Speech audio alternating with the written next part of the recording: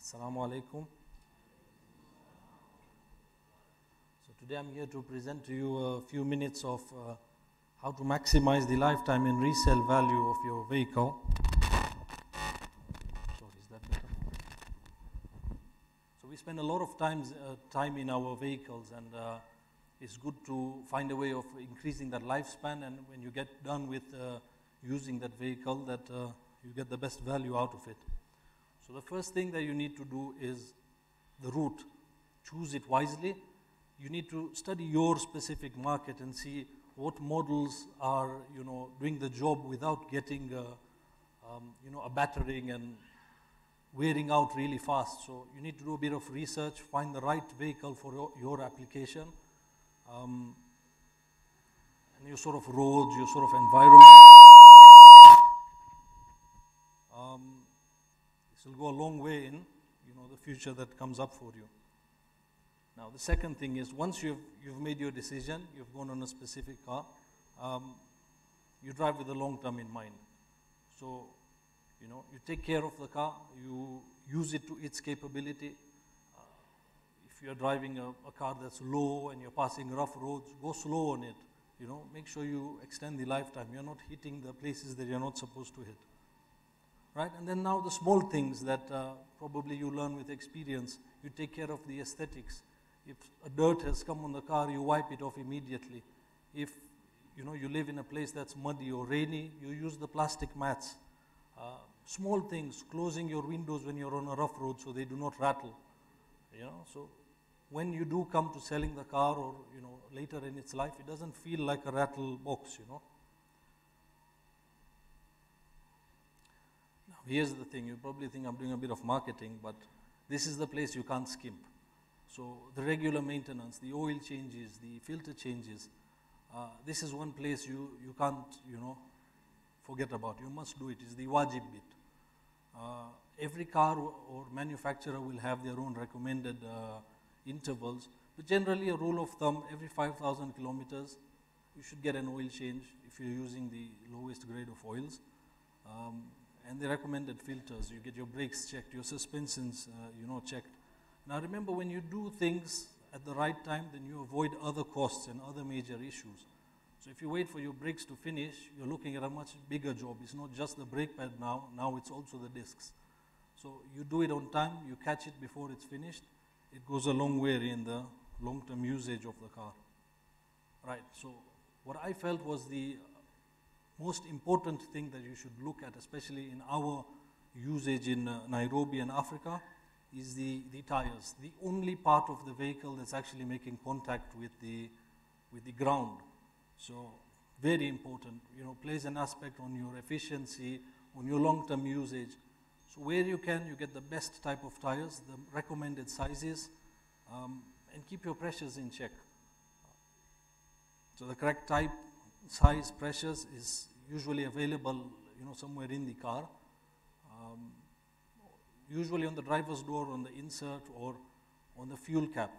There's a small uh, diagram here that shows the wear that a tire takes when you're running the correct pressures. And you, you can see in the low pressure, you're only using the sidewalls. In the high pressure, you're only using the center. And then you get uneven wear and a wobbly car, a wobbly ride. So really important to take care of these things.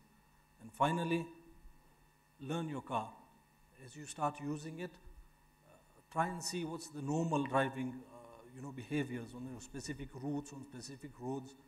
If you get used to how the car is driving, then when something small happens, you'll be able to catch it in time. Before it becomes a major thing, you know something's not okay, something's not feeling, uh, you know, the normal in, in my normal ride. And you catch that in time, you sort it out before it's become a major issue. Inshallah, you'll get the most value and uh, usage from that vehicle. Asant, I hope I've been of help.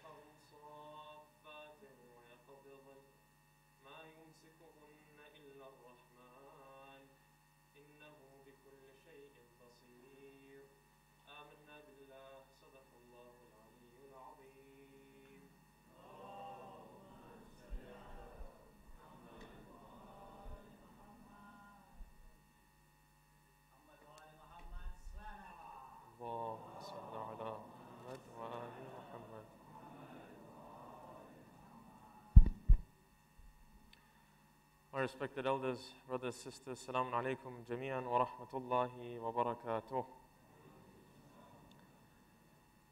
Yesterday we began with our introductory session looking at the importance of understanding this holy book that Allah subhanahu wa ta'ala has given to you and I.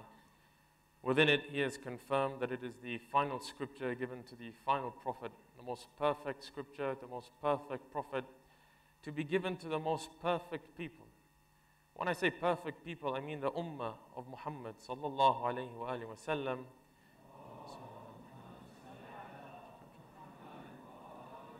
Have been given the ability to use their intellects in a fashion which previous progenies and ummahs have not been given.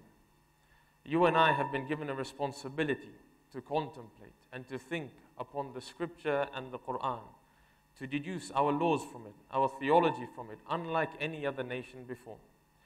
Allah makes it very clear numerous times in the Holy Quran, does He not? أَفَلَا تَعْقِلُونَ Do they not reason? We've given them this Quran so that they think about it, that they question it.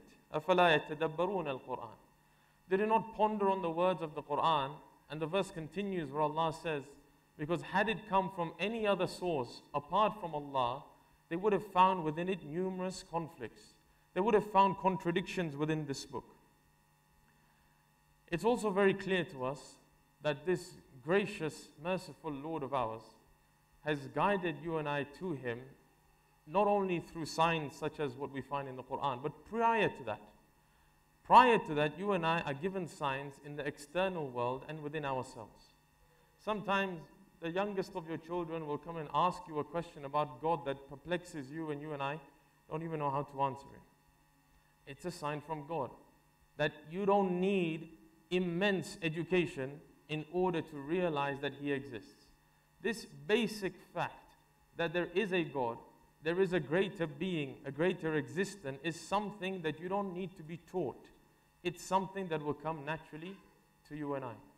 He says in the Quran, سنريهم آياتنا في الآفاق وفي أنفسهم. We're going to reveal to them our signs in the existence around them. There will be some who will come to the path of God and Tawheed just by opening their eyes. There are some who will simply study biology or some sort of organism and they will turn to God in that. Wafi and Fusim. And there are signs that were within people. Sometimes people don't look outside. A blind person is no less off in turning towards Allah than a person who can see. They too have their signs, and their signs will be within themselves as they think and they contemplate. You think when Yaqub lost his eyesight, or when Shu'aib cried so much out of the fear of God and he lost his eyesight that he forgot God or he couldn't see God? There are signs externally and internally. Allah says, so that we may make it clear to them that He is the truth. When you and I see a sign of God, when we witness something, when we hear something, we have two obvious options. The first is going to be that we accept it. That when we're guided to something, we accept it, but acceptance means that we act upon it and we show God that we've accepted through our actions. Sometimes you sit and you wonder and you say, I've been to the mosque for 20 years, for 50 years, 70 years. It's not that I'm coming to hear something new. It's not that every time that I come to a majlis or, or, a talk or a seminar that something new is going to be said about this religion. There may be aspects that are new. But the majority of the time, what we hear are simple reminders of that which we already know.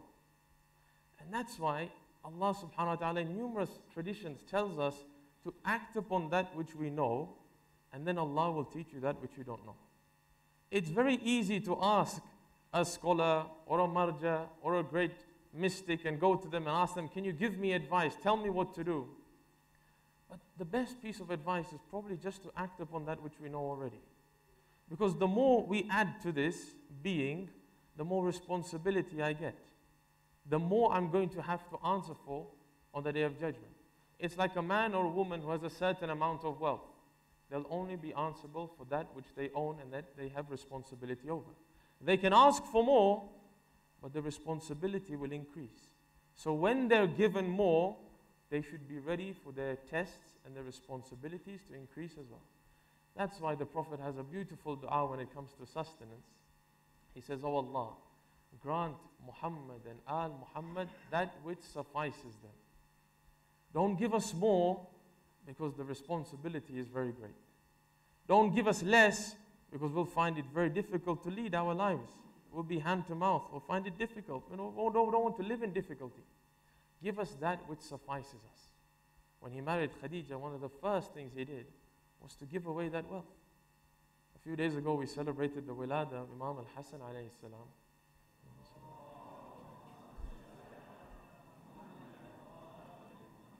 There's an anecdote and a story about him. I think I've mentioned it to you before, but it's worth mentioning again, just that you understand and we understand the generosity of these men and these women. Imam is met by a man from Sham. He comes all the way to Medina. He meets the second holy Imam. Imam al Hassan was well off. He had a great deal of wealth, but it was clear from his actions and how he lived that he didn't spend it on himself. Imam al Rida was wealthy. Imam al Rida would wear nice clothes, not clothes that you would look at and you would say he was extravagant, but he would wear nice clothes. And if you know the histories, you, you must have heard that people would point fingers at him and say, But your grandfather Ali would wear very rough, coarse clothes. Why is it that we find you wearing such nice clothes, you know, presentable clothes? And he would open up his abba and he would say that, yes, externally, it's a duty that we live according to the status of the people. But internally, if you look at my clothes, they're the rough, coarse clothes that I remind myself of how my grandfather lived. It's a reminder also, there's so much to extrapolate from their lives. One of the reminders you can take from this is that you live according to the people, not to be mocked. If you live in a fashion where you are mocked by the people, then why would people listen to you? When you speak to them, they'll point fingers and mock you. But if you live in accordance with the status quo of the people, you don't live above them, that they should feel ashamed of coming in your presence.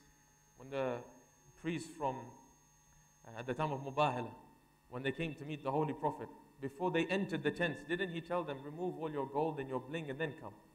We're not going to have a status war over here as whose clothes are better and whose gold is better. When we come and we sit, we sit as equals. That when you would go to the mosque, people would come from outside and they would question. They would say, Man Muhammad? Which one of you is Muhammad? Because he sat like the people. He ate the same food of the people. They didn't put him up and he sat in the front. Everybody knew that this was Muhammad. He sat. He spoke like the people. His colloquial dialect was like the people. He wore shoes and sandals like the people. He went to the market and he bought food like the people. And the Quran talks about people complaining. And they said, This can't be a prophet. He's come to the market. I said, This is what a prophet is meant to be. A prophet is meant to be with the people. Imam al Hassan, a wealthy man at his time, used his wealth according to Islam in the way in which it pleased Allah. A man from Sham comes to him. Doesn't know, doesn't go through an interview process, comes to him and he says, I'm in need. And Imam tells his helper, open up the safe and give whatever's inside. 2,000 dinars comes and he gives it to this man. The man is speechless. He turns to the second holy Imam and he says, Don't you want to know why I want this money? You haven't asked me a question. Don't you want to find out the reason? And then the Imam gives a principle of charity that should be ascribed in our hearts. He says, Allah has made it a habit with me that when I ask Him, He gives me without questioning. So I have made it a habit with people that when they ask me, I give them without questioning. I am fearful that if I begin to question before giving, then He will begin to question before giving. This is what the Imams live like. This is how they live their life. That Allah subhanahu wa ta'ala tells us, I've given you this thaqalain not so that you just speak about them. That's one step. You celebrate them. You rejoice. You sing their praises. That's one step. It's not that you just recite this Quran in the best melody. That's a good step. But action. Everything else is a means to the goal. The goal here is going to be action. And that's why when we come to these majalis, and sometimes we're given the most simplest of reminders, it's in accordance with the Quran and the command of God. Because he tells the Holy Prophet, فَذَكِّرْ إِنَّمَا أَنْتَ مُذَكِّرْ Oh Muhammad, remind because you are reminded. That's all you are. I have placed you on this earth to remind people. لا إكراه في الدين. Oh Muhammad, I'm not telling you to go and put a scarf on the heads of these women. I'm not telling you to go and lock these men up if they shave their beards. No, Muhammad, there's no compulsion. I want you to remind people, and that's it. And then the onus and the responsibility is shifted to them. In other verses of the Quran, وَذَكِّرْ إِنَّمَا الذِّكْرَ تَنْفَعَ الْمُؤْمِنِينَ People remind each other. It wasn't just for the prophets. It's for you and I. There's not one of us above the other. إِنَّ أَكْرَمَكُمْ عِنْدَ اللَّهِ أَتْقَاكُمْ The closest amongst you to God is the one who is most wary of God. Remind one another. It doesn't matter if he's older than you. Speak to him in a polite fashion. Remind him. It doesn't matter if he's younger than you. Encourage him to come back on the straight path in a polite fashion.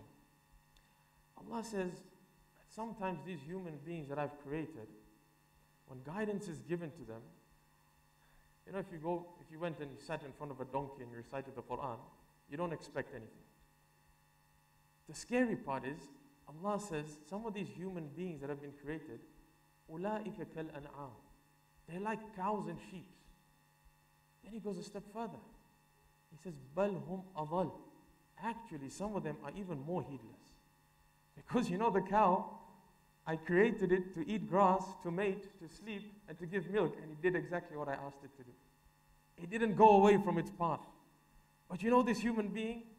I've created it with intellect and senses and the ability to comprehend and question and reason and understand and look around him. But he doesn't do any of it. He listens through one ear and goes out the other. And I don't see a change within him in action. So, the first option that man has, that when you and I listen to a reminder, and it has to be a simple reminder, the Quran is not complicated, Allah says it as we mentioned yesterday. The ahadith are not complicated. The religion, if it was difficult to act upon, then we have a complaint against Allah on the day of judgment. Allah, you made this religion extremely difficult. But He makes it easy. Out of 12 months, you only have to fast one. And even in that month, if you're traveling, or you're sick, or you're too old, or you're too young, so many excuses after excuses. There's easy ways out of it if it's difficult. If Hajj, I make it obligatory, only you have the means. Do you know how many Maraj are there who've never been to Hajj? Ayatollah Marashi Najafi being one of them. Never went for Hajj. Never had the ability financially to go for Hajj. It's okay. It doesn't mean that you're only close to God if you went for Hajj. It's an obligation if the environment actualizes itself. If you're not wealthy, you don't have the ability to, you have to look after your parents, He makes this religion extremely easy for you. That's the first option. That when we listen to guidance, we act. The second option is where the problems arise. The second option is when we reject the guidance that comes to us. When I say reject, I don't mean that any of us will have the audacity to stand here and say, I reject the Quran or I reject the Ahlul Bayt, God forbid. Nobody will say that. But you will see that the rejection has an undertone in some of the things that we say. For example, I do a sin, God forbid. And the innate knee jerk reaction when I'm told it's a sin is, Allah is Ghafoorur Rahim. It's okay. He'll forgive. It doesn't come from a place of the heart that I actually demand and seek forgiveness. Because if I wanted to seek forgiveness, I would recount my actions and change myself. The fact that I can keep on doing this sin and keep thinking God is forgiving and merciful, it means that we've understood a very different God from the Quran and what the Ahlul Bayt have taught. Another time when somebody corrects me, isn't it so easy to just tell them that, Kachi, they say, Tutojoka. Right? You just stick to your own, let me do what I want, you do what I want. I'm going to stand in front of God, I'm going to answer for my own actions. You don't interfere in my life. These have extreme undertones of rejection rejection of the message of God and rejection of the Ahlul Bayt. Listen to this verse in the Holy Quran. Allah subhanahu wa ta'ala says in Surah Al Qalam, He says, Do you have a pledge on Allah's shoulders? Have you taken a promise with Him, ila yawm al qiyamah, until the day of judgment? That you can stand here and say that whatever you want will happen tomorrow on the day of judgment? Who is it that is going to be the judge and the witness and the jury in the next life? Is it you or is it God? If it's God, then we're in problems. Why? Because He's the judge and the jury and the witness. It's only going to be what He wants. So the only way to be successful in that next life is not to act in accordance with what I want and the ease and the religion that I want. Being a Muslim means to submit to the commands of Allah subhanahu wa ta'ala. What's even scarier is that if we reject the message of God, He's already telling us in the Quran what will happen. The disbelievers shouldn't, on the day of judgment, be surprised because they're already being told the state in which they're going to be in. In Surah Taha, Allah mentions that on this day of judgment, the one who disregards my remembrance, فَإِنَّ لَهُ مَعِيشَةً ضَنْكَ In this life, he's going to have a wretched life. You might see people who reject God, who commit all the sins that they want and the desires at their fingertips, yet they live a pleasant life. A pleasant, and some people will say that he's become very successful or she's successful in their life, but the definition of success is extremely warped. If success means wealth and accumulation of wealth, then Fir'aun was very successful. Allah says that I'll give them a life and I'll give them whatever they want in this dunya, I'll keep giving because they have nothing in the akhirah. If both of us start off on a journey and you tell me you have to go straight in this desert, don't move left, don't move right, and I only, from the beginning, I just take a meter to the left, my eventual destination is completely different to yours after a 12 hour journey. When I reach the destination, I'll be cursing the path that I took. This is what happens to people who reject the message of God. That on the day of judgment, they realize that the small changes that we made, the small rejections of the signs and the reminders that God gave us that I made, it's ended me up in a completely different abode. He says in the Quran, those people who reject my remembrance, they will have a wretched life, number one. Then on the day of resurrection, وَيَحْشُرُهُ يَوْمَ الْقِيَامَةِ أَعْمَى We will resurrect them blind on the day of judgment. They won't be able to see. There's this desert plain, there's the heat and the scorching heat of the sun, and they won't know where to go. So they call out to God, قَالَ رَبِّي لِمَ حَشَرْتَنِي أَعْمَى Allah, why did you resurrect me blind? Out of all of the difficulties that I could have got right now, you've made me blind and I can't move anywhere. وَقَدْ كُنْتُ بَصِيرًا Allah, in the dunya I could see. I was able to comprehend. Why is it that you've resurrected me blind? Allah replies and He says, قَالَ كَذَلِكَ So it shall be today. You know why? أَتَتْكَ آيَاتُنَا فَنَسِيتَهَا I gave you my signs. Our signs came to you, but you forgot them. You rejected all of them. فَكَذَلِكَ الْيَوْمَ تُنْسَى You rejected and you forgot my signs, so today you're going to be forgotten. You're left as blind, deaf, dumb, summun, bukmun, umyun. You'll be left like that, and you won't have any place to move. These are for those who reject Allah's signs. Isn't it amazing that He's telling you and I from now that before the day of resurrection comes, you have a choice fall into this state or fall into that state where the sirat becomes a bridge for you, and for everybody else, it's thinner than a hair and sharper than a sword. But if you want it to be a bridge, and you want ease of entering into Jannah, and if you want a time where you have no questioning, and you don't even want to go on the scales, and you want the shifa of Al Muhammad, then simply act in accordance with what I've said. Two golden rules, as I mentioned yesterday. Just do the wajibat and stay away from the muharramat. يَعْلَمُونَ ظَاهِرًا مِنَ الْحَيَاةِ الدُّنْيَا Allah says in the Quran, there are people who they only know the apparencies of life. They just look at what's apparent. They think this is the termination and this is the final abode. There's nothing coming afterwards. وَهُمْ عَنِ الْآخِرَةِ هُمْ غَافِلُونَ Little do they know that as soon as they take their final breath, حَتَّى إِذَا بَلَغَتِ الْحُلْقُونَ until the soul reaches their throat, then everything becomes evident to them. Didn't Fir'aun then turn around and say, I believe in the Lord of Musa? Because everything, all the parda, all the hujub, they went away from his eyes then and he could see what's going to come. At that time, Allah says, There's no test now. The test is finished. When you and I are in the grave, Imam Zain al Abidin says,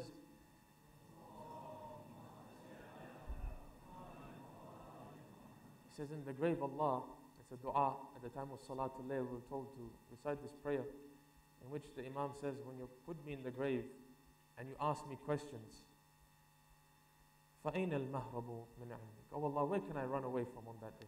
At that time, the first night when I'm in the grave, it's a reality. Everybody here most probably has put somebody in the grave, has thrown sand on a body of somebody in the grave. And then Imam says, When you ask me, where can I move? He says, My hands will be tied. You'll ask me questions. أنت أعلم به مني. That you know the answers better than me. If I lie in the grave, you will say, ألم أكن شاهدا عليك? Was I not a witness over you? And if I say the truth, then it's only punishment.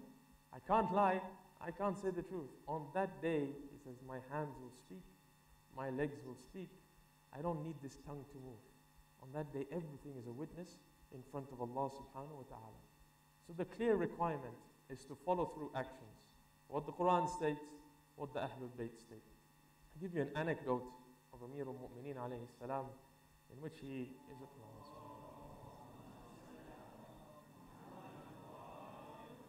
He's approached by Abu Dhar, and Abu Dhar tells him, O Amir al-Mu'mineen, I hear you mentioning uh, Salman a great deal. I don't think this is from a point of jealousy. It must have been from a point of finding out how can I become like Salman. The, hadith says, Salman minna ahlul bayt. So what is it that you find in Salman? Tell me, so maybe I can also begin to emulate and implement what Salman does. What's the difference? Why, is Salman at this station? Imam says, I'm going to show you in a practical fashion. He says, call Salman. Salman is called, and Imam says to Abu and Salman, he says, let's go for a walk. They start walking, they start walking on soft desert plains, in soft soil. They walk for a bit, and then Imam stops. And he says to Aba Dhar, Abadar, how many footsteps should there be? He says, six. There's three of us. Says, turn around and count. He turns around and he sees there's four footsteps. He says, this is strange, Amir al-Mu'mineen. There are four footsteps, but three of us. He says, now ask Salman. He asks, and Salman says, By Allah, as soon as I found out that Ali was on the truth, I have followed him like a footstep inside a footprint. That I've never.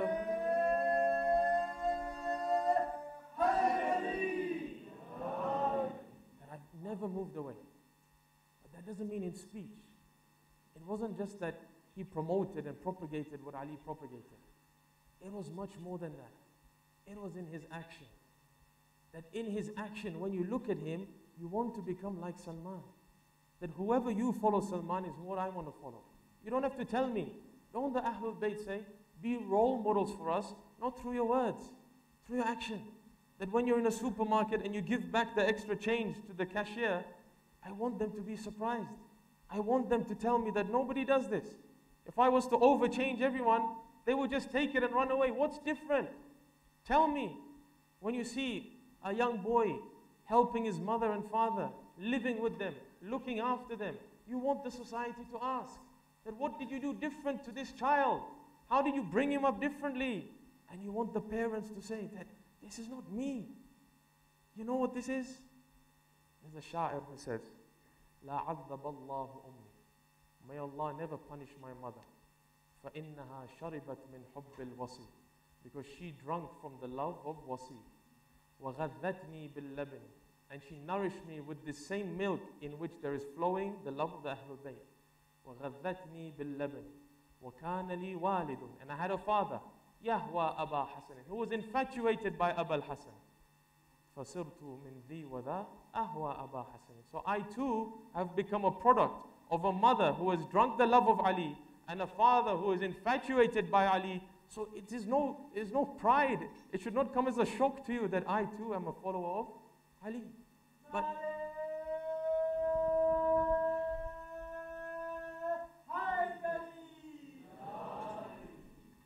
what I reiterate, in speech. Speech is the baseline that I say what they say. But practice is where the difficulty lies.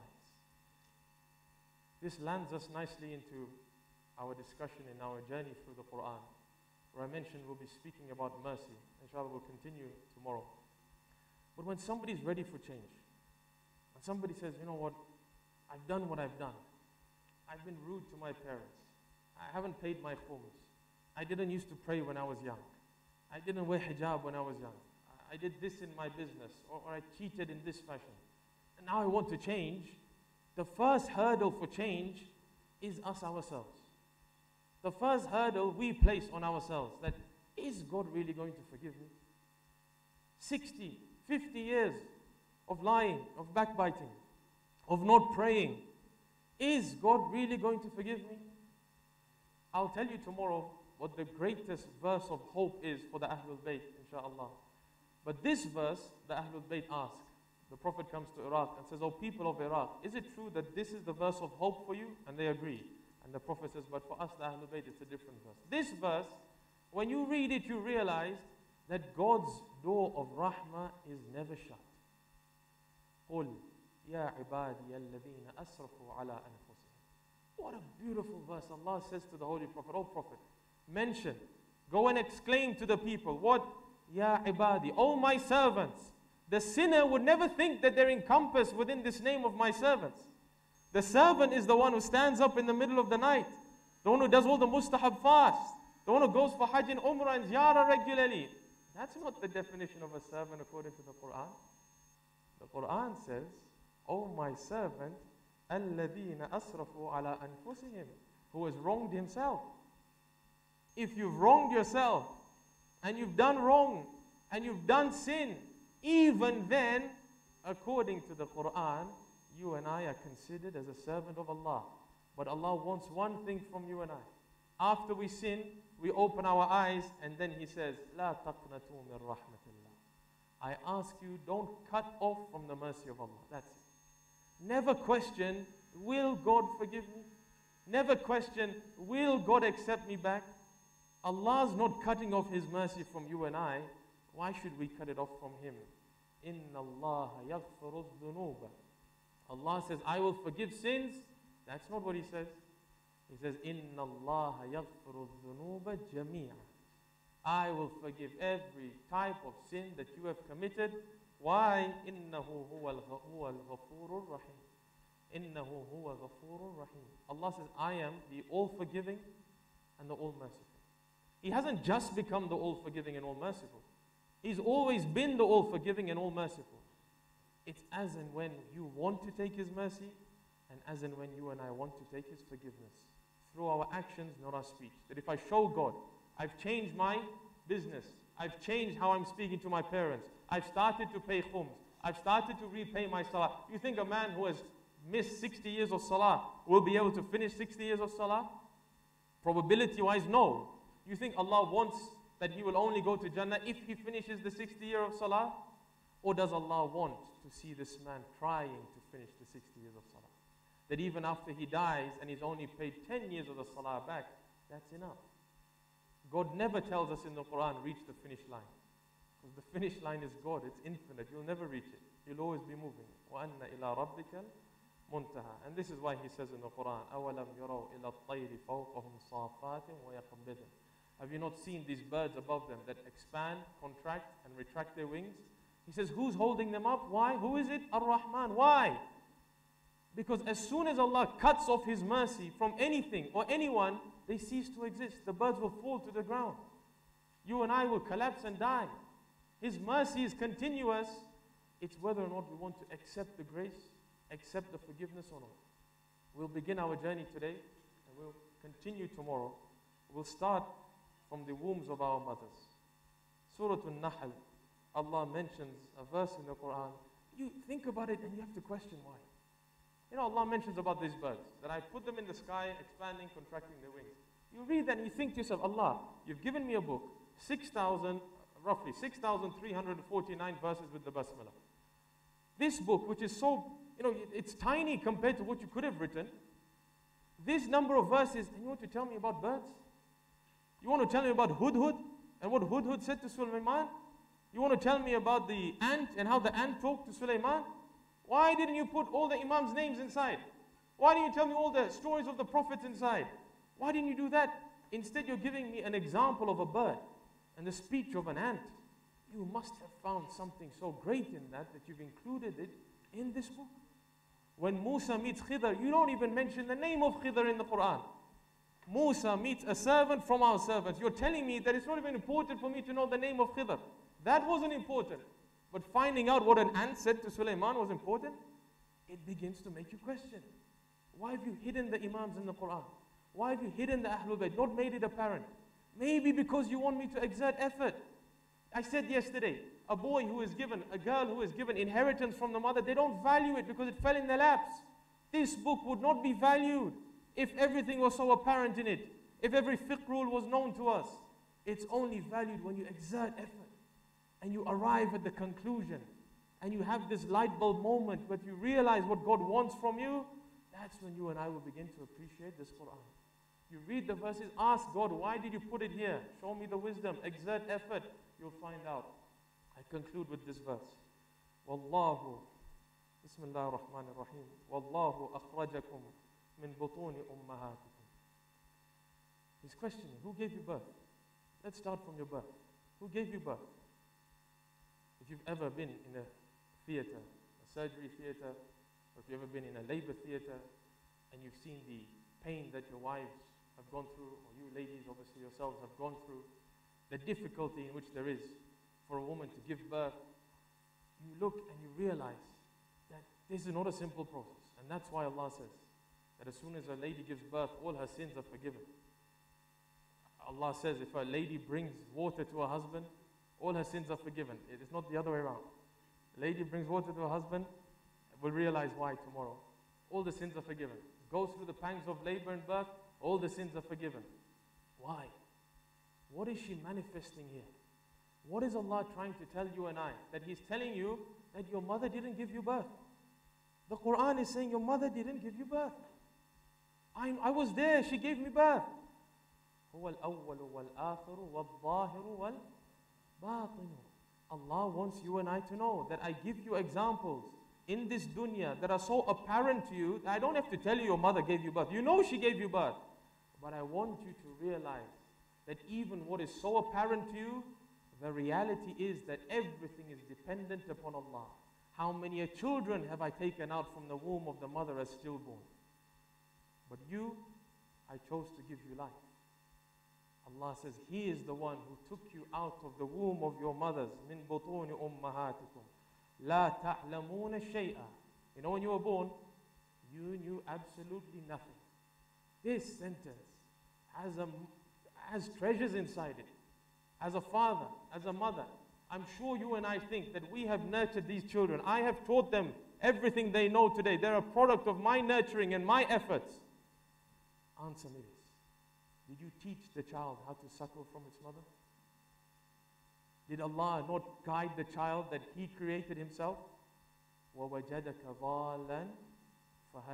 found you without any knowledge when we created you. We guided you. Which man, which father, which mother says, I taught my child how to nourish itself from the mother? Not one. It's for Allah. He's the creator, He is the nourisher. You and I are conduits. We are the handiwork of Allah. The mother is the manifestation of the mercy of Allah. The mercy of the mother will be untouched. As much as you and I try, we won't touch it. We'll try, we won't touch it. She is the manifestation of the mercy of Allah. That is why Surah Al Fatiha mentions mercy four times in seven verses. And what's another name for this surah? Umm al Quran, the mother of the Quran. Inshallah, we continue our discussion and journey through the Quran tomorrow, expanding more on the mercy of Allah. وآخر دعوانا الحمد لله رب العالمين وصلى الله على محمد وعلى أهل بيته الطيبين الطاهرين.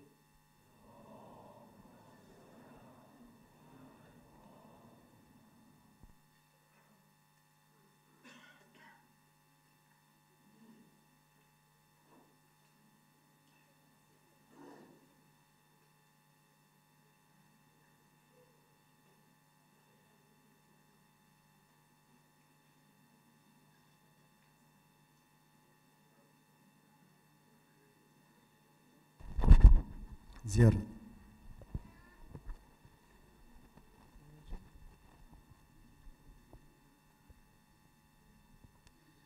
Mu'mineen, please uh, join me in reciting Amma Yujibu five times. بسم الله الرحمن الرحيم عما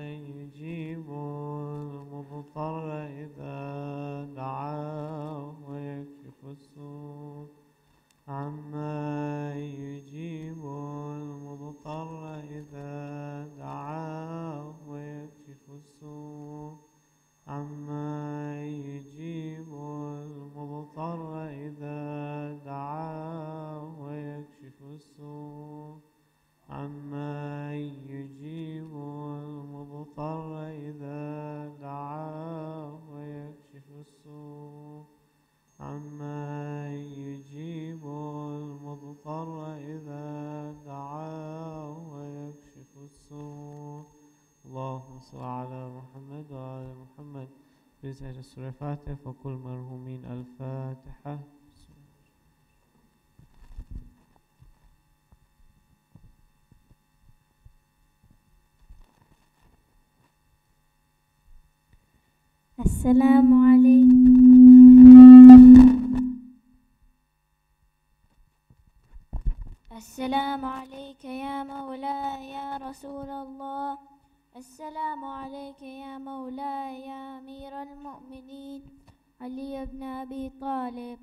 السلام عليك يا مولاتي يا فاطمة الزهراء سيدة النساء العالمين.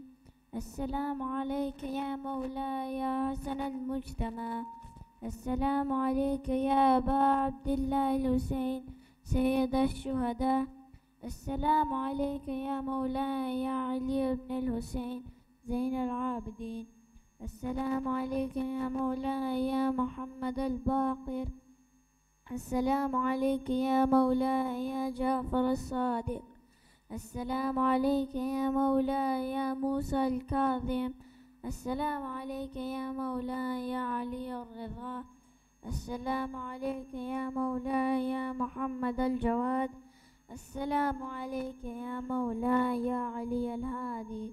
السلام عليك يا مولاي يا حسن العسكري. السلام عليك يا مولاي يا صاحب العصر والزمان. الأمان الأمان من فتنة الزمان. السلام عليك يا خليفة الرحمن. السلام عليك يا شريك القرآن. السلام عليك يا إمامنا وإمام الإنس والجان. عجل الله تعالى فرجه وسهل الله مخرجه. وظهورك رحمة